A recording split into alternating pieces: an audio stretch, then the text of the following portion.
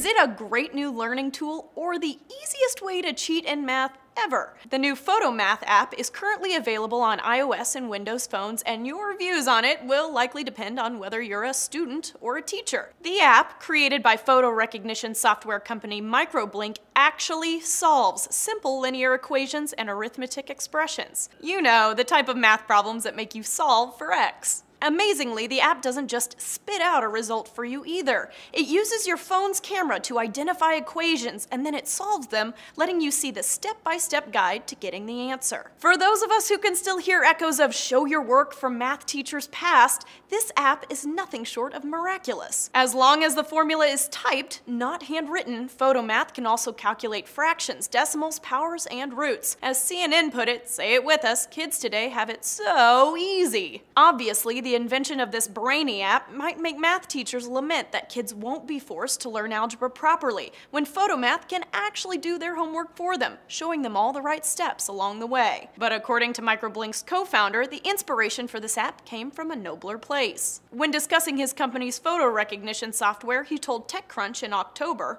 Yesterday, we launched an app which uses this technology to help kids around the world learn math. PhotoMath will be available for Android in early 2015. We think Yahoo said it best. Let me take a mathy. For Newsy, I'm Rosie Newberry.